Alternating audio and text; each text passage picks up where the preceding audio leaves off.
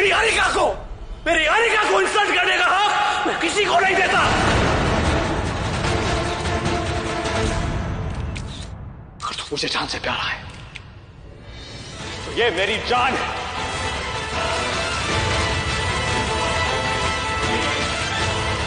मेरी अनिका है, मेरी बीवी है, मेरा गुरूर है, और मेरे गुरूर को ललकारना मत।